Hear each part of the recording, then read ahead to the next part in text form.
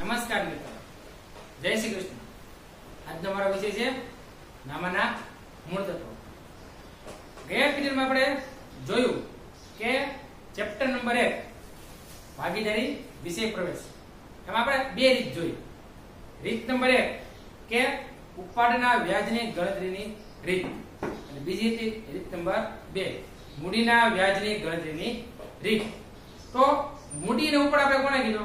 કે ભાઈ સામાન્ય રીતે મૂડીની વ્યાખ્યા આપી હોય તો ધંધાનો માલિક, ધંધામાં જે કાંઈ લાવે એટલે કે માલ, મિલકત કે રોકડ, એને કહેવામાં આવે છે? મૂડી. અને ધંધાનો માલિક, ધંધામાંથી જે કાંઈ લઈ જાય, એને ઉપાડ તરીકે ઓળખવામાં આવે છે. જે કાંઈ એટલે માલ, મિલકત કે રોકડ લઈ જાય, એને ઉપાડ તરીકે ઓળખવામાં આવે છે. તો રીત નંબર એક આપણે જોઈએ કે ઉપાડના વ્યાજની ગણતરીની રીત અને રીત નંબર બે, કે મૂડીના વ્યાજની ગણતરીની રીત. એમાં અલગ અલગ સ્ટેપ જોયા. ત્યારબાદ રીત નંબર ત્રણ આવે છે, કે એક, બે, કે ત્રણ ભાગીદારને નફો વહેંચવાની રીત. કે ભાઈ તમને અલગ અલગ ભાગીદાર હોય બે કે ત્રણ. એમાં જે કીધું હોય કે ભાઈ x ને y નો આટલો ભાગ મળે છે, y ને z નો આટલો ભાગ મળે છે, તો ત્રણેય ભાગીદારનો નફો શોધો. અથવા તો x નો નફો ગોતો, અથવા તો y નો નફો શોધો અથવા તો z નો નફો શોધો. તો ક્યારેક બધા જ ભાગીદારનો નફો શોધવાનો હોય અથવા તો ક્યારેક કોઈ પણ એક પર્ટિક્યુલર ભાગીદારનું કીધું હોય નામ સાથે એનો તમારે નફો મેળવવાનો હોય. તો એવા સંજોગોમાં દાખલો કઈ રીતે ગણવો. તો જ્યારે જે તે ભાગીદારનું નામ બે વખત હતું હોય, દાખલા કે x ને y નો અને y, z ને y નો, x ને y નો અડધો ભાગ નફો મળે છે. અને z ને નો, ત્રીજા ભાગનો નફો મળે છે. તો બે વાર કયું નામ આવ્યું? તો કે y તો જે ભાગીદારનું નામ બે વખત આવે એ ભાગીદારને ભાગ કેમ રાખો તો કે વચમાં. કઈ રીતે? દાખલા કે x y અને z તો y બે વાર આવ્યો એટલે y નો ભાગ ક્યાં આવશે? વચમાં. અહીંયા કદાચ બે થાય અહીંથી જાય ત્રણ. તો જે ભાગીદારનું નામ બે વખત આવે, એને ક્યાં રાખવાનું? વચમાં. અને એનો ભાગ કેટલો થવાનો? તમારે એક. પછી જે ભાગીદારના વચમાં તમે ધારો છો, એના આધારે પ્રથમ ભાગીદાર અને બીજા ભાગીદારનો નફો પણ તમારે શોધવાનો રહેશે. તો પ્રમાણ દાખલે ક્યાં પડશે કે 2 જેમ 1 જેમ 1 એનું એક સૂત્ર બનાવ્યું છે કે ભાગીદારનો નફો શોધવાનો હોય તો સૂત્ર કઈ રીતે છે? તો ભાગીદારનો નફો બરાબર કુલ નફો એને ગુણ્યા તેનો ભાગ છે એમાં કુલ ભાગ કે દાખલા કે વિચારો, આપણે કે x નો નફો ગોતો છે, તો અહીંયા લખો ભાગીદારનો નફો, એટલે કે x નો નફો. તો x નો નફો બરાબર તમને કીધું છે કુલ નફો દાખલા ધારો કે કુલ નફો 50000 છે. તો કુલ નફો 50000 એને ગુણ્યા, એનો ભાગ, તો આ આખું પ્રમાણ તમને મળી ગયું. તો x નો ભાગ કેટલો થાય? તો કે 2 તો એને ગુણ્યા 2 એના છેદમાં કુલ ભાગ કેટલો તો કુલ ભાગ કેટલો છે? તો કે 2 ને 1 3 ને 3 ને 3 6 તો આ એમાં આખું થઈ ગયું સૂત્ર. અને સૂત્ર મુજબ જ્યારે તમે ગણતરી કરતા છો એટલે જે નફો તમને મળી જશે. ફરીથી સમજાવું છું કે ભાઈ, જે તે નફો તમને મેળવવાનું કે તો કઈ રીતે મળે?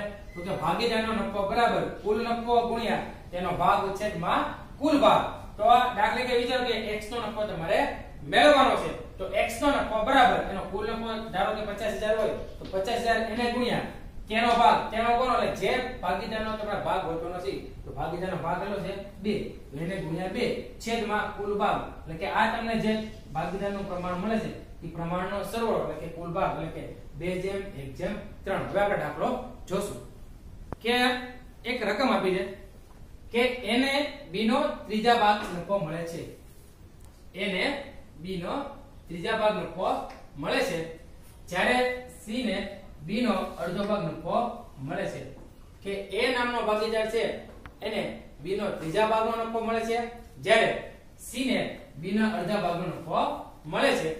જો પેઢીનો કુલ નફો 22000 હોય તો ત્રણેય ભાગીદારનો નફો શોધો. કે રકમ આપી છે કે એ ને બી નો ત્રીજા ભાગનો નફો મળે છે?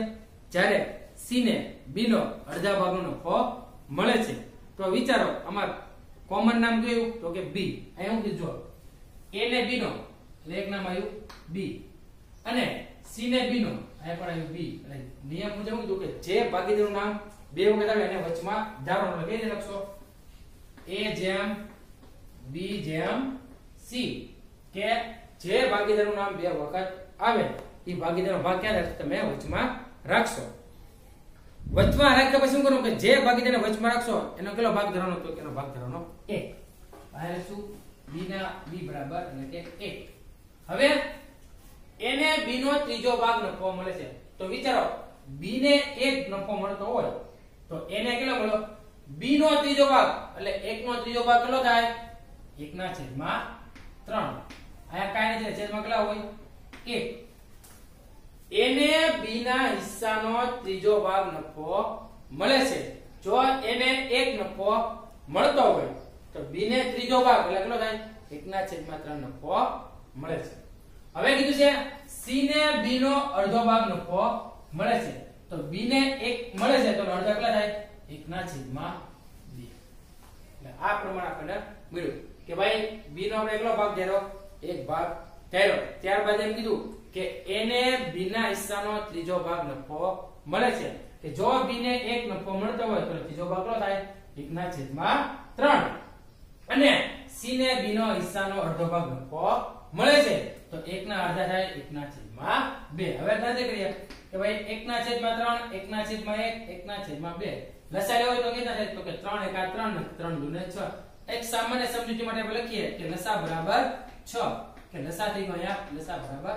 છ લસા છે. તો અહીંયા છે એકના છેદમાં ત્રણ. તો મારે અહીંયા ત્રણ કરો એકના છેદમાં ત્રણ છે. કુલ લસા કેટલો છે આપણો? છ. મારે અહીંયા છ કરવો હોય તો કેટલા વડે ગુણવું પડશે? તો કે બે વડે. તો જેટલા તમે નીચે ગુણાકાર કરો છો, એટલા તમારે કેટલા પડશે? ઉપર ગુણાકાર કરવો પડશે. એટલે ઉપર પણ આવશે બે. તો ત્રણ દુ છ. જેટલા તમે નીચે ગુણાકાર કર્યો, એટલો તમારે ઉપર ગુણાકાર કરવો પડશે. અહીંયા છે એકના છેદમાં એક. તો અહીંયા મારે છ લાવવો હોય, તો કેટલા વડે ગુણાકાર કરવો પડશે? તો કે છ વડે. તો એને ગુણ્યા છ. નીચે તમે જેટલો ગુણાકાર કરો છો, એટલો તે ગુણાકાર ક્યાં કરવો પડશે? ઉપર કરવો પડશે. એટલે એને ગુણ્યા છ. અહીંયા છે એકના છેદમાં બે. તો અહીંયા મારે છ લાવવા હોય, તો કેટલા વડે ગુણાકાર કરવો પડશે? તો કે ત્રણ વડે. જેટલા તમે નીચે ગુણાકાર કરો છો, એટલો ગુણાકાર તમારે ઉપર કરવો પડશે. એકના છેદમાં ત્રણ છે, લસા બરાબર છે છ. જો મારે છ લાવવો છે તો કેટલા વડે ગુણાકાર કરવો પડશે? તો કે બે વડે. જેટલો તમે ગુણાકાર નીચે કરો, એટલો ગુણાકાર તમારે ઉપર કરવાનો રહેશે. ત્યારબાદની વાત કરીએ તો એકના છેદમાં એક છે. તો અહીંયા મારે છ લાવો તો કેટલા વડે ગુણાકાર કરવો પડે? છ વડે.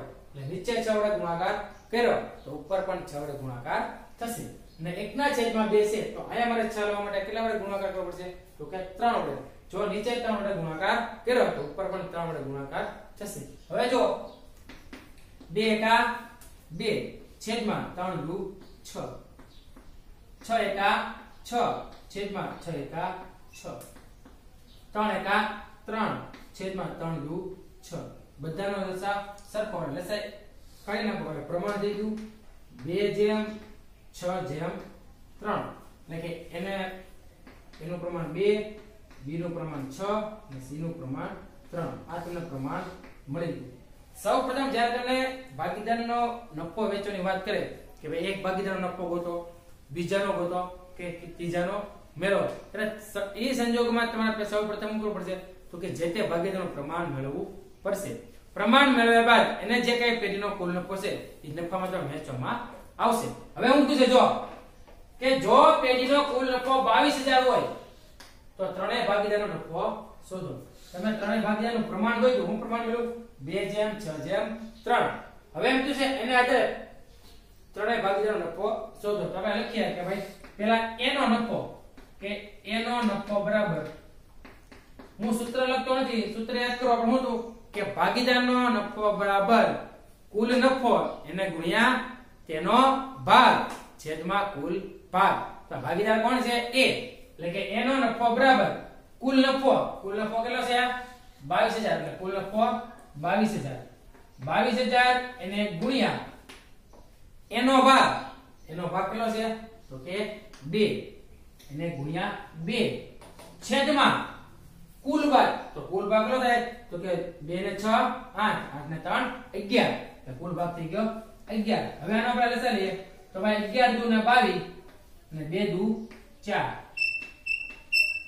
એટલે એનો નફો મળ્યો 4000 અહીંયા તમારે છેદ ઉડાડવાની જરૂર નથી. તમારી પાસે શું હશે? કેલ્ક્યુલેટર છે. એટલે ડાયરેક્ટ તમારે શું કરવાનું? તો કે 22000 ગુણ્યા 2 ભાગ્યા 11 તો ડાયરેક્ટ તમને જવાબ મળી જશે. પણ મારી પાસે કેલ્ક્યુલેટર નથી. એટલે મેં આ રીતે છેદ ઉડાની ગણતરી કરી. તો ભાઈ અગિયાર દુ બાવીસ ને બે દુ ચાર. તો એનો નફો મળ્યો ચાર હજાર. બી ના નફાની વાત કરીએ કે બી નો નફો. બી નો નફો. બરાબર. કુલ નફો કેટલો છે? તો કે બાવીસ હજાર. બાવીસ હજાર. એને ગુણ્યા બી નો ભાગ. બી નો ભાગ કેટલો છે અહીંયા? તો કે છ. તો એને ગુણ્યા છ. છેદમાં કુલ ભાગ કેટલો છે? તો કે છ ને બે આઠ ત્રણ અગિયાર. એટલે 11 આનું સાદું ભાગ શું થાય? તો અગિયાર દુ 22 ને 6 દુ બાર. એટલે બી નો નફો કેટલો મળ્યો? તો કે બાર હજાર. હવે એ રીતના સી નો નફો, કે સી નો નફો બરાબર. કુલ નફો કેટલો છે? તો કે 22000 એને ગુણ્યા c નો ભાગ. C નો ભાગ કેટલો થાય અહીંયા? તો કે 3 તો અહીંયા 3 છેદમાં કુલ ભાગ કેટલો છે? તો કે 11 અહીંયા 11 સાજુ આપો કે 11 દુ ભાગને 2 તેરી 6 તો c નો નફો મળ્યો 6000 તો આ થઈ ગયો દાખલાનું કઈ રીતે કરો એ ગણતરી. કે આ પૂછાય તમે રાખો. વિભાગ નંબર c, દાખલા નંબર 21 3 માર્ક ચેપ્ટર 1 માંથી 10 અલગ અલગ રીતો છે. પણ કઈ રીત પૂછે, એનું કઈ પર્ટિક્યુલર ખબર નથી. પણ તમને પૂછે કે દાખલો આ રીતે, આ રીતનો દાખલો છે, તો તમને ખ્યાલ આવે કે કઈ રીતે તમારે ગણો અને ત્રણ માર્કમાં પૂછાતો હશે. વિભાગ સી, દાખલા નંબર 21 3 માર્કમાં દાખલો પૂછાય છે. દાખલો ગણો એ મહત્વ નથી, પણ હવે તમે જે પ્રમાણ ધાર્યું છે, જે પ્રમાણ તમે અહીંયા નક્કી કર્યું છે એ મુજબ રકમ મળી ગઈ કેમ? તમે જુઓ. શું કીધું છે. એને બી નો ત્રીજો ભાગ નફો મળે છે. કે એને બી નો ત્રીજો ભાગ નફો મળે છે વિચારો. બી નો કેટલો છે? 12 એટલે નો નફો છે 12000 એનો ત્રીજો ભાગ, એટલે કે ભાગ્યા 3 એટલે કેટલા થાય? તો કે 4000 તો વાત તમે રાજી થઈ ગઈ? કે ભાઈ સાચી છે? કે ભાઈ એને બી નો ત્રીજો ભાગ નફો મળે છે. એટલે કે બી ને જો 12000 નફો મળે છે, તો ત્રીજો ભાગ કેટલો થાય? તો કે 4000 તો 4000 એને નફો મળે છે. તમે જે પ્રમાણ ધર્યું છે પ્રમાણ સાચું છે. બીજું સી ને બી ના હિસ્સાનો અડધો ભાગ નફો મળે છે. વિચારો બી ને મળે છે 12000 એના અડધા ભાગ્યા 2 એટલે થાય 6000 વિચારો સી ને 6000 મળે તો કે આ વાત પણ સાચી તમે જે પ્રમાણ નક્કી કરો એ પ્રમાણ મુજબ તમને તાળો મળી ગયો. તમારે તાળો મેળવવાની જરૂર છે નહીં. પણ આ તો તમને સમજૂતી મળે એટલા માટે આપણે નક્કી કર્યું છે કે જો એને બી નો ત્રીજો ભાગ નફો મળે છે, કે જો બી ને 12000 મળતા હોય, તો ત્રીજો ભાગ કેટલો થાય? 4000 તો એને મળે છે 4000 અને સી ને બી ના હિસ્સાનો અડધો ભાગ નફો મળે છે. બી ને કેટલો મળે? છે 12000 અને અડધા કેટલા થાય? 6000 તો સી ને મળે છે 6000 તો અહીંયા તમે જે પ્રમાણ ધાર્યું છે, એ પ્રમાણે બરોબર મળે છે. એટલે એનો નફો મળશે 4000 બી નો નફો મળશે 12000 અને સી નો નફો મળશે 6000 આ રીતે જ્યારે દાખલો તમને પૂછતા હોય, એટલે સૌપ્રથમ તમારે પહેલા પ્રમાણ ધારવાનું. જે પ્રમાણ ધારો છો, એના આધારે ચોક્કસ પ્રમાણ મળશે. ચોક્કસ પ્રમાણ મેળવ્યા બાદ જો તમને ત્રણે ત્રણ ભાગીદાર કે, તો એ પ્રમાણે તમે નફો મેળવવાનો. અથવા તો જે તે એક ભાગીદાર કે બે ભાગીદાર કે, તો એ પ્રમાણે તમે નફો મેળવવાનો થશે. હવે આપણે બીજો દાખલો જોઈએ. એક રકમ બનાવેલી છે કે ભાઈ આ રીતે કદાચ રકમ પૂછે તો તમારે કઈ રીતે ગણવું? જઈને અજયનો અઢી ગણો નફો મળે છે. અને વિજયને અજયનો ત્રણ ના છેદમાં ચાર ગણો. એટલે કે ત્રણ ચતુર્થાંશ નફો મળે છે. જો પેઢીનો નફો એક લાખ બે હજાર હોય, તો ત્રણેય ભાગીદારનો નફો શોધો કે ભાઈ, જયને અજયનો અઢી ગણો નફો મળે છે અને વિજયને અજયનો ત્રણ ચતુર્થાંશ નફો મળે છે. તો બે નામ કયું કોમન તો કે અજય. અહીંયા પણ આવ્યું. અહીંયા પણ આવ્યું. એટલે કે જય જેમ. અજય, જેમ, વિજય. જયને અજયનો અઢી ગણો લખો. તો અઢી તમે કઈ રીતે લખી શકો? તો કે અઢી લખો ઘણી બધી પ્રોસેસ છે. જો આ રીતે પણ લખી શકો. અઢી એટલે કે 2.5 આમ લખો તો પણ ચાલે. અથવા બીજે કઈ રીતે? તો કે 2 પૂર્ણાંક 1 દુત્યાંશ. તો આને બીજા કઈ રીતે લખી શકાય? તો કે 2 દુ 4 4 ને 5 5 ના છેદમાં 2 એટલે પણ કેટલા થાય? અઢી થાય. કાલે તમે બે પોઈન્ટ પાંચ લખી શકો. અથવા તો પાંચના છે બે પણ તમે લખી શકો. એટલે કેટલા થઈ ગયા? અઢી. કે ભાઈ, જયને અજયનો અઢી ગણો નફો મળે છે. તો વિચારો, જે પ્રથમ ભાગીદાર હોય, કે માં જેને વચ્ચે આપણે ધરેલો છે, જે ભાગીદારનું નામ બે વખત આવે છે, તો ઈ ભાગીદારનો ભાગ કેટલો ધરશું આપણે? એક. તો વિચારો કે ધારો કે ભાઈ, અજયનો ભાગીદાર નફો છે એક, એટલે 1 ના છેદમાં 1 અઢી અઢીગાણો કીધો છે બે પોઈન્ટ પાંચ લખવાની જરૂર છે. નહીં, એટલે ડાયરેક્ટ કેટલા લખી કે પાંચના છેદમાં બે. એટલે અહીંયા પાંચના છેદમાં બે. બે પૂર્ણાંક એક દૂધ એટલે અઢી થાય. બે દૂધ ચાર ને એક પાંચ. પાંચના છેદમાં બે લગાડે અઢી થાય બે પોઈન્ટ પાંચ. ને અહીંયા આવ્યું છે, વિજયને ત્રણ ચતુર્થાંશ નફો મળે છે. તો એનું કઈ પ્રમાણની જરૂર છે એટલે આપી દીધું કે ત્રણના છેદમાં ચાર. એટલે કે ત્રણ ચતુર્થાંશ. હવે લસા કેટલા થશે તો કે લસા બરાબર, આ તમારે લખવાની જરૂર નથી, તમારી સમજૂતી માટે છે. કે બે એકા બે. ને બે ચોક આઠ. તો લસા તમે કેટલો થઈ આઠ. કે બે એકા બે બે ચોક આઠ. એટલે લસા થઈ ગયો તમારો આઠ. હવે અહીંયા પાંચ ના છેદમાં બે છે. તો અહીંયા મારે આઠ લાવો હોય. તો કેટલા વડે ગુણાકાર કરવો પડશે? તો કે ચાર વડે. તો જેટલા તમે ગુણાકાર નીચે કરો છો એટલો ગુણાકાર કેટલો પડશે ઉપર તમારે કરવો પડશે. તો એને ગુણ્યા ચાર. પાંચ ના છેદમાં બે છે. આઠ લા માટે ગુણાકાર કેટલો કરવો પડે? તો કે ચાર વડે. છતાં તમે નીચે ગુણાકાર કરો. એટલો ગુણાકાર તો ઉપર કરવો પડશે. એટલે કે નીચે ચાર, ઉપર પણ ચાર. એક ના છેદમાં એક છે. તો આઠ લા માટે કેટલા વડે ગુણાકાર કરવો પડશે? તો કે આઠ વડે. નીચે આઠ. તો ઉપર પણ તમારે આઠ વડે ગુણાકાર કરવો પડશે. જેટલો ગુણાકાર તમે નીચે કરશો એટલો ગુણાકાર ઉપર કરવો પડશે. હવે છે, ત્રણ ના છેદમાં ચાર. તો અહીંયા આટલા માટે કેટલો વડે છે તો કે બે વડે. નીચે બે વડે ગુણાકાર કર્યો. તો ઉપર પણ કેટલા વડે ગુણાકાર કરવો પડશે બે વડે ગુણાકાર કરવો પડશે. પાંચ ના છેદમાં બે છે, લસા તમારો આઠ છે. તો આઠ લાવવા માટે કેટલા વડે ગુણાકાર કરવો પડે? ચાર વડે. તો નીચે ચાર વડે, તો ઉપર પણ ચાર વડે ગુણાકાર કરવો પડશે. એક ના છેદમાં એક છે આઠ લાવવા માટે કેટલા વડે ગુણાકાર કરવો પડે? તો કે આઠ વડે. નીચે આઠ, ઉપર તમે આઠ વડે ગુણાકાર કરવો પડશે. ત્રણ ના છેદમાં ચાર છે. તો લાવવા માટે કેટલા વડે ગુણાકાર કરવો પડે? બે વડે. નીચે બે, તો ઉપર તમે બે વડે ગુણાકાર કરવો પડશે. એટલે હવે જોઈએ. પાંચ ચોક વીસ. એના છેદમાં ચાર દુ આઠ. આઠ એકા આઠ. છેદમાં આઠ એકા આઠ. ત્રણ દુ છ. છેદમાં ચાર દુ આઠ. આઠ બધાના છેદમાં કોમન એટલે નીકળી ગયા. એટલે પ્રમાણ થઈ ગયું વીસ જેમ આઠ જેમ છ.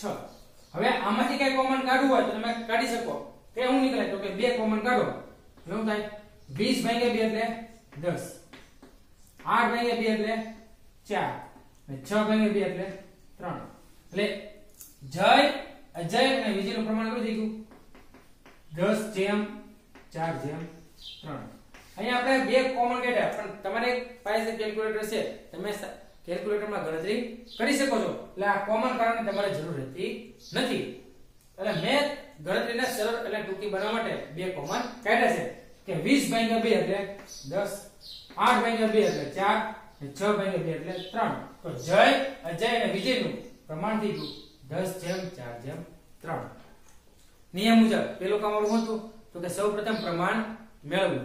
પ્રમાણ મેળવ્યા બાદ, હવે તો કે એનો નફો વેચવાનો છે. શું થશે જો પેઢીનો કુલ નફો 1 લાખ 2000 હોય, તો ત્રણેય ભાગીદારનો નફો મેળવો.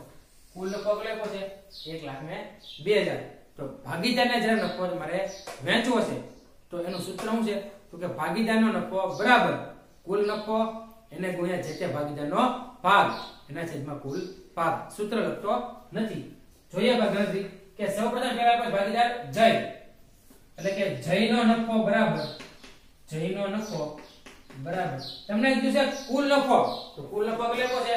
1 લાખ ને 2000 એટલે કે 1 લાખ 2000 એને ગુણ્યા જે તે ભાગીદારનો ભાગ, એટલે કે જયનો ભાગ. જયનો ભાગ કેટલો થશે અહીંયા? તો કે 10 તો એને ગુણ્યા 10 છેદમાં કુલ ભાગ. કુલ ભાગ કેટલો થાય? તો કે 10 ને 4 14 ને 3 17 તો ભાગ્યા 17 હવે વિચારો 17 6 102 ને 6000 ગુણ્યા 10 એટલે કે 60000 એટલે જયનો નફો મળ્યો 60000 રૂપિયા. હવે અજયનો નફો. અજયનો નફો બરાબર 1 લાખ 2000 એને ગુણ્યા અજયનો ભાગ કેટલો છે? 4 તો એને ગુણ્યા 4 છેદમાં કુલ ભાગ કુલ ભાગ નો થાય 10 ને 4 14 ને 3 17 એટલે છેદમાં 17 17 છક 102 અને 6 ચોક 24 તો અજયનો નફો મળ્યો 24000 રૂપિયા. હવે છે વિજયનો નફો. વિજયનો નફો બરાબર કુલ નફો કેટલો છે? 1 લાખ 2000 તો 1 લાખ 2000 એને ગુણ્યા. વિજયનો ભાગ કેટલો થાય? 3 તો એને ગુણ્યા 3 છેદમાં કુલ ભાગ કેટલો છે? 17 છેદમાં 17 17 6 102 6 તેરી 18 એટલે વિજયનો નફો મળ્યો 18000 રૂપિયા. જયનો નફો મળ્યો 60000 રૂપિયા. અજયનો નફો મળ્યો 24000 રૂપિયા. અને વિજયનો નફો મળ્યો 18000 રૂપિયા. હવે આપણે તાળો મેળવી જોઈએ કે તમે જે પ્રમાણ મેળવ્યું છે એ પ્રમાણ મુજબ સાચો છે કે કેમ? તમે તમને કીધું છે કે જયને અજયનો અઢી ગણો નફો અજયને કેટલો મળે? 24000 24000 ગુણ્યા એના અઢી ગણા એટલે કે 2.5 એટલે કેટલા થાય? તો કે 24 દુ 48 ને 48 ના અલગ 24 ના અડધા 12 48 માં 12 નો કેટલા થાય? 60000 રૂપિયા. તો તમને જે કીધું છે કે જયને અજયનો અઢી ગણો નફો એટલે કે 60000 મળવો જોઈએ. તો જયને મળી ગયો 60000 તો કે હા અને ઓકે.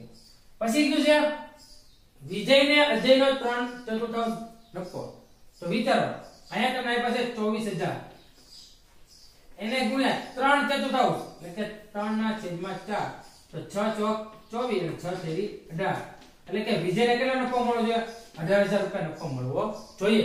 તો વિજયને મળી અઢાર 18000 એટલે આ તમે જે પ્રમાણ નક્કી કર્યું છે, એ પ્રમાણ મુજબ દાખલો તમારો સાચો થશે. આ દાખલો પણ ક્યાં પૂછે?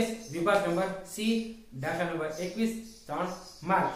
તમને દાખલો ગણો કે તો આ તમારી સમજૂતી માટે છે. તમારે આ પ્રમાણ સાબિત ન કરો તો ડાયરેક્ટ તમે સ્ટેપ બતાવી દો કે ભાઈ આનો પોટલો, આનો આટલો આનો નફો તો પણ ચાલે. આ લસા સાથે પ્રમાણ તમે કઈ રીતે નક્કી કરો એ બતાવવાની કઈ જરૂર રહેતી નથી. માત્ર ને માત્ર તમે આ નફો, મળી ગયો ભાઈ, જેનો નફો આટલો અજયનો નફો આટલો અને વિજયનો નફો આટલો એ તમે નફો કઈ રીતે મેળવ્યો એ બતાવી દો તો પણ ચાલશે. તમારે પ્રમાણ કઈ રીતે ગણતરી કરી એ પ્રમાણ બતાવવાની જરૂર રહેતી નથી. અને તમે જે તાળો મેળવો એ તાળો મેળવવાની પણ જરૂર નથી. આ એક તમારી સમજૂતી માટે છે કે તમે જે પ્રમાણ નક્કી કરો છો એ પ્રમાણ મુજબ દાખલો મળે છે કે કેમ? એ પ્રમાણ મુજબ દાખલો સાચો છે કે કેમ? એટલે એ માટે આ સમજૂતી મેં કરેલી છે. પણ તમારે તમે જ્યારે બોર્ડની પરીક્ષામાં દાખલો ગણો છો કે બોર્ડનું પેપર તમે આપો છો, ત્યારે તમારે આ ગણતરી, આ લસાની ગણતરી કે આ તાળો એ મેળવવાની જરૂર રહેતી નથી, માત્ર ને માત્ર જે ભાગીદાર લીધો એનો નફો તમને કઈ રીતે મેળવો એ દર્શાવવાનું રહેશે. હજી એક દાખલો જોઈએ. હવે એક ઉદાહરણ આપણે જોવું છે. આ ઉદાહરણ આપણે આઈએમપી ગણી શકાય. કે આવો દાખલો ક્યારેક પૂછાતો હોય છે, ઉદાહરણ મુજબ. હવે આ જે ઉદાહરણ આપ્યું છે ને, એમાં વ્યક્તિનું નામ બે વખત આવે છતાં પણ એ વ્યક્તિને તમે લાઈનમાં નહીં લખી શકો. એટલે કે વચમાં નહીં લખી શકો. કેમ જો? રિયા, દિલીપ અને કીર્તન એક ભાગીદારી પેઢીના ભાગીદારો છે. રિયા, દિલીપ અને કીર્તન. ઉદાહરણ નંબર 5 એ ગણતરી કરી શકીએ કીર્તન ને દિલીપના હિસ્સાનો પાંચમો ભાગ. કે કીર્તન નામનો જે ભાગીદાર છે, એને દિલીપના હિસ્સાનો કેટલો ભાગ લખવો મળે છે. પાંચમો ભાગ લખવો મળે છે. અને રિયાને કીર્તનના હિસ્સાનો બમણો ભાગ નફો મળે છે. કીર્તન નો થાય, દિલીપના હિસ્સાનો પાંચમો ભાગ નફો મળે છે. કીર્તનને દિલીપના હિસ્સાનો પાંચમો ભાગ. અને રિયાને કીર્તનના હિસ્સાથી ગુણો ભાગ. કે રિયા નામની જે ભાગીદાર છે, એને કીર્તનના હિસ્સાનો ગુણો ભાગ નફો મળે છે. દિલીપને મળે તો કીર્તનને નફો મળે છે. અને જો કીર્તનને નફો મળે, તો રિયાને નફો મળે છે. આ એક અટપટી રકમ છે. તો જ્યારે આ પ્રકારની રકમ હોય, ત્યારે તમારે કોઈ ભાગીદારને વચ્ચે રાખવાની જરૂર નથી. પણ ઉપર તમને જે રકમ આવ્યો છે એ મુજબ તમારા ભાગીદારના નામ તમારે ધારી લેવાના. એટલે કે રિયા જેમ, દિલીપ જેમ, કીર્તન. અત્યાર સુધીના બે દાખલા તમે જોયા. એમાં કેવું હતું? દાખલા કે પહેલી રકમ શું હતી? તો કે ભાઈ એ ને બી નો હિસ્સાનો અડધો ભાગ નફો મળે છે. અને સી ને બી ના હિસ્સાનો ત્રીજો ભાગ નફો મળે છે. એટલે બે વાર બી નામ છે એ તો કોમન આવતું જ હતું. ને એ મુજબ તમારે ગણતરી કરતા હતા. પણ અહીંયા કેવું છે કે જો કીર્તન દિલીપને કંઈક નફો મળતો હોય તો કીર્તનને નફો મળશે. અને જો કીર્તનને નફો મળશે તો રિયા નામની જે ભાગીદાર છે એને નફો મળશે. તો આવા સંજોગોમાં તમને જે મુજબ રકમમાં, જે મુજબ આખી દાખલો દાખલો રકમ જે આપી છે અને જે ભાગીદાર નામ તમને ક્રમમાં આપ્યા છે એ મુજબ જ તમારા ક્રમમાં લખવાના. એટલે કે રિયા જેમ દિલીપ જેમ કીર્તન. રિયા જેમ, દિલીપ જેમ કીર્તન. તમને જે ભાગીદારના નામ ક્રમમાં આપ્યા છે, એ મુજબ તમારા ક્રમમાં ગણવાના રહેશે. અહીંયા જે છે પાંચમો ભાગ. એટલે જે ભાગીદાર હોય એના પાંચ ભાગ થાય કે ચોથો ભાગ કે તો કેટલા ધરો તમે ચાર. દસમો ભાગ કે તો કેટલા ધરે તમે દસ. ત્રીજો ભાગ કે તો કેટલા ધારે ત્રણ. કેવા સંજોગોમાં? જ્યારે એકના આધારે બીજાને બીજાના આધારે ત્રીજા ભાગીદારને નફો મળતો હોય તેવા સંજોગોમાં. અહીંયા રકમ એમ જ કહેવામાં આવે છે કે જો દિલીપને નફો મળશે, તો કીર્તનને નફો મળશે. અને જો કીર્તનને નફો મળશે, તો રિયાને નફો મળશે. જ્યારે આની પહેલા તમે દાખલો શીખ્યા, એમાં કેવું હતું કે એમાં એવું હતું કે બી ને એનો મળે અને સી ને પણ બી નો મળે. એટલે કે એક, બે અને ત્રણ ભાગીદાર છે. કે એક નંબરનો ભાગીદાર છે એ બી ના આધારે એને નફો મળે છે અને ત્રણ નંબરનો જે ભાગીદાર છે, એને પણ બીજા નંબરના ભાગીદારને આધારે નફો મળે છે. એટલે બીજા નંબરનો ભાગીદાર કોમન હતો. કે બીજા નંબરનો ભાગીદાર એને પણ નફો આપે છે, એક નંબરને તે અને ત્રણ નંબરને પણ નફો આપે છે. પણ અહીંયા શું છે? એક બે ત્રણ જો એક નંબરને નફો મળે, તો બે નંબરને નફો મળે. જો બે નંબરે નફો મળે, તો ત્રણ નંબરે નફો મળે. એ પ્રકારનો દાખલો છે. તો આવા સંજોગોમાં તમને જ્યારે રકમ કે, તો તમારે જે ભાગીદાર ક્રમશ આપ્યા છે એ મુજબ તમારે ક્રમશ લખી લેવાના. અને જે ભાગ તમને કે એ તમારે ભાગ ધરવાનો. પાંચમો ભાગ એટલે પાંચ તમે ધર્યા. હવે પાંચની બદલે તમને ચાર કે તો કેટલા ધારે તમે? ચાર. આઠ કે તો કેટલા ધારે આઠ. દસ કે, તો કેટલા ધારે તમે? દસ. હવે જો રકમ કીર્તન ને દિલીપ ના હિસ્સાનો પાંચમો ભાગ. એટલે દિલીપ નામનો જે ભાગીદાર વચ્ચે છે હંમેશા ભાગ કોને ધારે તો કે વચ્ચેના નામના ભાગીદાર હોય, એને જરા ભાગ ધરતા હોય છે. પાંચમો ભાગ કીધો આપણે પાંચ ધાર્યા જો તમે ચોથો કે, તો કેટલા ભાગ તમે ધારે? ચાર. દસમો કે, તો કેટલા ધારે? દસ. પણ અહીંયા પાંચમો કીધો પાંચ ધાર્યા કીર્તન ને દિલીપ ના હિસ્સાનો પાંચમો ભાગ. જો દિલીપ ને પાંચ મળે તો પાંચમો ભાગ કેટલો થાય? એક. એટલે કીર્તન ને કેટલો મળશે ભાગ? અને રિયા ને કીર્તન ના હિસ્સાથી કોણો એક ના બમણા કેટલા થાય તમે જે નામ ક્રમશઃ રાખ્યા છે એ ક્રમશઃમાં જે તમને પેલા ભાગીદારનો જેટલા ગણો નફો કે એ ગણો નફો રાખો. એ નફો રાખ્યા પછી એનો ભાગ ધારો એ ભાગ ને આધારે નક્કી કરો કે કીર્તન ને દિલીપ ના હિસ્સાનો પાંચમો ભાગ નફો મળે છે. જો દિલીપ ને પાંચ નફો મળે છે એનો પાંચમો ભાગ કેટલો થાય? એક. તો દિલીપ ને કેટલો અ, કીર્તન ને કેટલો નફો મળશે. એક. અને રિયા ને કીર્તન ના હિસ્સાથી બમણો ભાગ. જો કીર્તન એક મળે તો બમણા કેટલા થાય? બે. એક ના બે ગણા એટલે કે બે તો અહીંયા તમારે પ્રમાણ મળી ગયું બે જેમ પાંચ જેમ તો અહીંયા તમારે હું તો કે જે પ્રમાણ કરીને લસા કરીને જે તમે ગણતરી કરો છો એ ગણતરી કરવાની જરૂર નથી. કારણ કે ડાયરેક્ટ પ્રમાણપત્ર મળી ગયું. છેદમાં એક રકમ નથી. એટલે તમારે લસા કરીને ગણતરી કરવાની જરૂર નથી. ડાયરેક્ટ શું કરશો? ડાયરેક્ટ તમે જે સ્ટેપ મૂકો છો, એ સ્ટેપ મુજબ દાખલા ગણશો. હું આપણું સ્ટેપ છે? તો કે ભાગીદારનો નફો બરાબર. કુલ નફો એને ગુણ્યા જે તે ભાગીદારનો ભાગ. એના છેદમાં કુલ ભાગ. તો સૌપ્રથમ આપણે ગોતીએ કે ભાઈ રિયા. રિયાનો નફો. રિયાનો નફો બરાબર. કુલ નફો. કુલ નફો કેટલો છે? એક લાખ બાણું હજાર. એક લાખ બાણું હજાર. એને ગુણ્યા રિયાનો ભાગ. રિયાનો ભાગ કેટલો થાય? બે. છેદમાં ટોટલ કેટલો થાય? પાંચ ને બે, સાત ને આઠ. ચોવીસ અઠા એકસો બાણું અને ચોવીસ દુ અડતાલીસ. એટલે રિયાનો નફો મળશે અડતાલીસ હજાર રૂપિયા. એવી રીતના દિલીપનો નફો. દિલીપનો નફો. બરાબર કુલ નફો છે એક લાખ બાણું હજાર. એને ગુણ્યા. દિલીપનો ભાગ. દિલીપનો ભાગ કેટલો છે? પાંચ. એટલે ગુણ્યા પાંચ. એના છેદમાં કેટલા? તો તે આઠ. ચોવીસ અઠા એકસો બાણું ચોવીસ પંચા એકસો વીસ. એટલે કે દિલીપનો નફો મળશે એક લાખ ને વીસ હજાર રૂપિયા. એવી રીતના વાત કરીએ તો કીર્તનનો નફો. તો કે કીર્તનનો નફો બરાબર. કુલ નફો. કુલ નફો કેટલો છે? તો કે એક લાખ બાણું હજાર. એક લાખ બાણું હજાર ગુણ્યા. નો ભાગ છે કીર્તનનો. કેટલો ભાગ છે? તો કે એક. એને ગુણ્યા એક. ટોટલ ભાગ છે આઠ. ચોવીસ, અઠ્ઠા, એકસો બાણું અને ચોવીસ, એકા, ચોવીસ. એટલે કીર્ત- આ કીર્તનનો નફો મળશે ચોવીસ હજાર રૂપિયા. રિયાનો નફો મળ્યો અડતાલીસ હજાર રૂપિયા. દિલીપનો નફો મળ્યો એક લાખ વીસ હજાર રૂપિયા. અને કીર્તનનો નફો મળ્યો ચોવીસ હજાર રૂપિયા. હવે આપણે તાળો મેળવી કે કીર્તનને દિલીપના હિસ્સેથી પાંચમો ભાગ અને એક લાખ ને વીસ હજાર મળે છે. તો એક લાખ એને ભાગ્યા પાંચ. એટલે કેટલા થાય? ચોવીસ હજાર રૂપિયા. એક લાખ વીસ હજાર ના ભાગ કેટલા થાય? ચોવીસ હજાર રૂપિયા. એટલે દિલીપના કીર્તનનો જે નફો છે તમને મળી ગયો. રિયાને કીર્તનના હિસ્સેથી બમણો. ચોવીસ હજાર બમણા કેટલા થાય અડતાલીસ હજાર રૂપિયા. તો રિયાને કેટલા મળવો જોઈએ અડતાલીસ હજાર રૂપિયા. મળે છે રિયાને અડતાલીસ હજાર? રૂપિયા હા. તમે જે પ્રમાણ નક્કી કર્યું, એ પ્રમાણ મુજબ તમને રકમ મળી ગઈ. કે ભાઈ કીર્તન કીર્તનને દિલીપના હિસ્સેથી પાંચમો ભાગ, કે દિલીપને મળે છે એક લાખ વીસ હજાર. એક લાખ વીસ હજાર ના પાંચમો ભાગ લગાવે ભાગ્યા પાંચ. એટલે કેટલા થાય? તો કે ચોવીસ હજાર રૂપિયા. એટલે કીર્તનનો નફો મળ્યો ચોવીસ હજાર રૂપિયા. અને રિયાને કીર્તનના હિસ્સાથી બમણો. એટલે કે ચોવીસ હજાર ના બે ગણા. એટલે કેટલા થાય? અડતાલીસ હજાર રૂપિયા. તો રિયાનો નફો મળ્યો અડતાલીસ હજાર રૂપિયા. અહીંયા તમને જે ગણતરી કીધી હતી, જે પ્રમાણ આપ્યું છે, એ મુજબ દાખલો ગણાય ગયો. એટલે રિયાનો નફો મળ્યો અડતાલીસ હજાર રૂપિયા, દિલીપનો નફો મળ્યો ચોવીસ હજાર, એક લાખ વીસ હજાર રૂપિયા. અને કીર્તનનો નફો મળ્યો ચોવીસ હજાર રૂપિયા. હવે એક એવો દાખલો જોવો છે, જેમાં માત્ર પ્રમાણ આપેલું હોય. અત્યાર સુધી આપણે એવો દાખલો જોયો કે જેમાં તમારા પ્રમાણની ગણતરી કરવાની છે. પણ એક દાખલો હવે એવો જોવો છે, જેમાં તમને પ્રમાણ આપેલો છે. એ દાખલો આપણે જોઈશું. અત્યાર સુધીના તમે જે બે દાખલા ગણા બે કે ત્રણ, એમાં શું હતું કે ભાઈ જે તે ભાગીદારનું નામ આપ્યું હોય, એના આધારે તમારે પ્રમાણ નક્કી કરવાનું હોય અને પ્રમાણ આધારે તમારે ગણતરી કરવાની હોય. પણ એક દાખલો આપણે એવો જોવો છે, જેમાં તમને પ્રમાણ આપી દઈશું. આ દાખલો તમને આપ્યો છે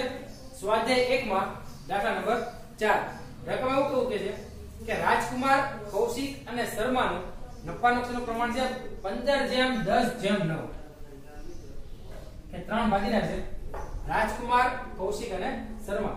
એનું પ્રમાણ આપ્યું છે તમને પંદર જેમ દસ જેમ નવ.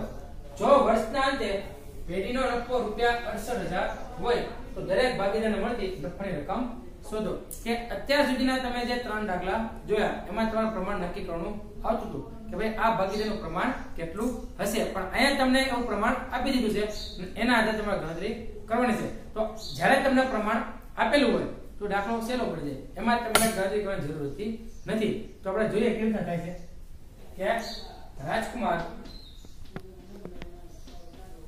જેમ કૌશિક,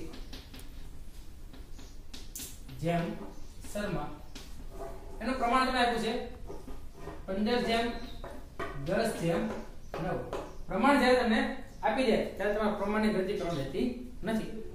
તો પહેલું સ્ટેપ શું તો કે ભાગીદારનો નફો, બરાબર. કુલ નફો ગુણ્યા ભાગીદારનો ભાગ, છેદમાં કુલ ભાગ. હવે પહેલા તો તે રાજકુમારનો નફો. કે રાજકુમારનો નફો, બરાબર. રાજકુમારનો નફો, બરાબર. કુલ નફો કુલ નફો કેટલો છે? 68000 રૂપિયા. એટલે કે અડસઠ હજાર. એને ગુણ્યા તેનો ભાગ. તેનો ભાગ કેટલો છે? 15 એને ગુણ્યા 15 છેદમાં કુલ ભાગ પંદર દસ પચીસ ને 9 34 તો 68 દુ 34 ને 15 દુ 30 એટલે રાજકુમારનો નફો મળ્યો 30000 રૂપિયા. એવી રીતના કૌશિકનો નફો કૌશિકનો નફો બરાબર કુલ નફો. કુલ નફો છે અડસઠ હજાર રૂપિયા. અડસઠ હજાર ગુણ્યા એનો ભાગ એનો ભાગ કેટલો છે? 10 એને ગુણ્યા 10 છેદમાં કુલ ભાગ કેટલો છે? તો કે 15 ને 10 34 34 15 ને 10 25 ને 25 ને 9 34 એટલે 34 34 દુ 68 અને 10 દુ 20 એટલે કૌશિકનો નફો મળ્યો 20000 રૂપિયા. અને છેલ્લે છે શર્મા. તો શર્માનો નફો બરાબર. શર્માનો નફો બરાબર. કુલ નફો કુલ નફો છે 68000 રૂપિયા. એને ગુણ્યા શર્માનો ભાગ. શર્માનો ભાગ કેટલો થાય? તો કે 9 એને ગુણ્યા 9 છેદમાં કુલ ભાગ છે 34 તો 34 દુ 68 અને 9 દુ 18000 રૂપિયા. એટલે શર્માનો ભાગ નફો થઈ ગયો 18000 રૂપિયા. તો આ દાખલો પણ ક્યાં ક્યાં પૂછાય? તો કે વિભાગ નંબર સી, દાખલા નંબર 21 માં આ મુજબની દાખલો પૂછાતો હોય છે. કે અહીંયા તમને પ્રમાણ આપી દીધું પ્રમાણને આધારે તમે દાખલો રીતે ગણો. જો તમને પ્રમાણ આપી દઈશ, તો માત્ર ને માત્ર ભાગીદાર નફો કરી રીતે વેચો. એ જો તમને સમજાઈ જાય, તો દાખલો આવશે, એનો બની જાય છે. આ દાખલા વિશે સ્વાધ્યાય એક માં દાખલા નંબર ચાર. તો આપણે અલગ અલગ બે દાખલા એવા જોઈએ કે જે ઉદાહરણ જાતે રકમ બનાવી હતી.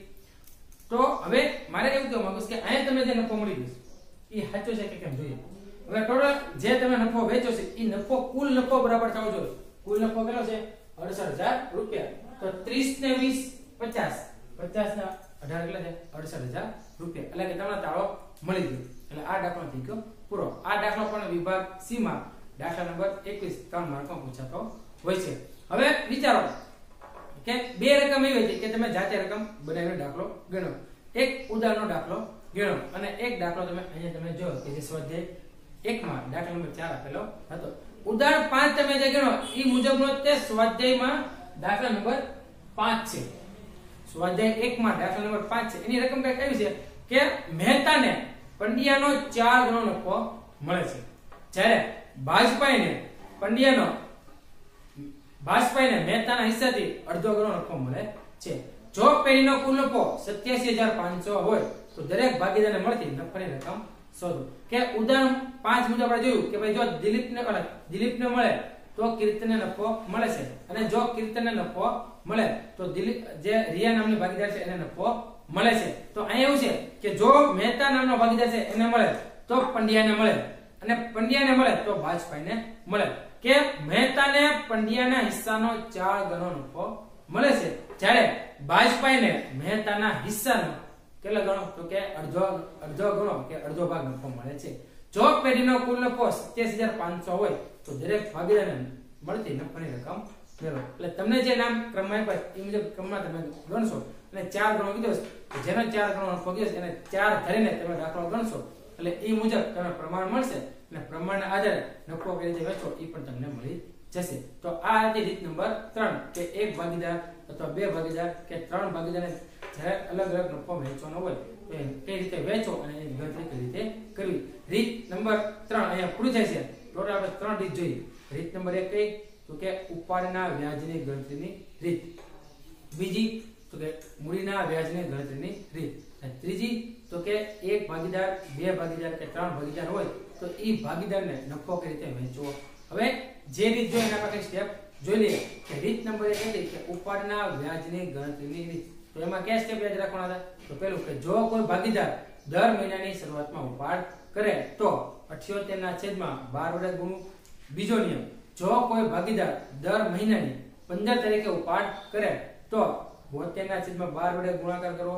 ત્રીજું જો ભાગીદાર દર મહિનાને અંતે ઉપાડ કરે, તો 66 ના છેદમાં 12 વડે ગુણાકાર કરો. અને છેલ્લું સ્ટેપ હતું કે જો કોઈ ભાગીદાર દર 3 મહિને ઉપાડ કરે, તો 18 ના છેદમાં 12 વડે ગુણાકાર કરો. આ રીત નંબર 1 ઉપાડના વ્યાજની ગણતરી રીત. એના સ્ટેપ હતા. રીત નંબર 2 કે મૂડીના વ્યાજની ગણતરીની રીત. તો મૂડીનું વ્યાજ ગોતવા માટે સૌપ્રથમ તમારે પહેલા શરૂની મૂડી મેળવવી પડે. તો શરૂની મૂડી કઈ મળે? તો કે સૌપ્રથમ આખરની મૂડી. પ્લસ ઉપર ઈ બેનો સરવાળો મળે, એમાંથી માઇનસ કરો માઇનસની પાછળ નખો એટલે મળશે શરૂની મૂડી. પેલું આખરની મૂડી પ્લસ ઉપર બંનેનો સરવાળો કરો. એના સરવાળામાંથી માઇનસ કરો વ્યાજની પાછળ નખો એટલે તમને મળશે શરૂની મૂડી. અને શરૂની મૂડી મેળવ્યા બાદ મૂડીનું વ્યાજ કેટલા મળશે? તો કે શરૂની મૂડી બરાબર. ઓલા મૂડીનું વ્યાજ બરાબર, શરૂની મૂડી ગુણ્યા વ્યાજની ટકાવારી કે તમને જે શરની મૂડી મળે, એને ગુણ્યા જે તે વ્યાજ કીધું, પાંચ ટકા કે 10% કે બાર ટકા, એ કરો, તો તમને મૂડીનું વ્યાજ મળશે. અને રીત નંબર ત્રણ, કે 1 2 કે ત્રણ ભાગીદારને નફો વહેંચવાની રીત. તો એમાં સૌપ્રથમ, તમારે જે ભાગીદારનું નામ બે વખત આવે એને વચમાં તમારે રાખવાનું છે. જે વચ્ચે રાખો એને તમારે એક ભાગ ધારવાનો છે. અથવા અમુક સંજોગોમાં એવું થાય કે તમને એક ભાગીદાર નફો મળે, તો બીજાને મળે, અને બીજાને મળે, તો ત્રીજાને નફો મળે. એવા દાખલો હોય તો તમે જે નામ તમે ક્રમમાં આપેલું હોય, એ ક્રમમાં, ક્રમને આધારે તમારે દાખલો દાખલાની ગણતરી કરવાની રહેશે. અને એના ઉપરથી પ્રમાણ મેળવવાનું રહેશે. પ્રમાણ મેળવ્યા બાદ તમારે એને કેટલો નફો છે, એ નફો સૂત્રના આધારે વહેંચવાનો છે. સૂત્ર શું હતું? તો કે ભાગીદારનો નફો બરાબર કુલ નફો, એને ગુણ્યા જે તે ભાગીદારનો ભાગ, એના છેદમાં કુલ ભાગ. તો રીત આપણે ટોટલ ત્રણ રીત જોયા. પહેલી રીત, ઉપાડના વ્યાજની રીત. બીજું મૂડીના વ્યાજની ગણતરી રહેશે ત્રીજું એક, બે કે ત્રણ, ભાગીદાર નફો વહેંચવાની ત્રીજ બીજી રીતો છે એ, આની પછીના પીરિયડમાં જોશું. આજ સુધી આટલું રાખશું. જય હિન્દ, જય ભારત.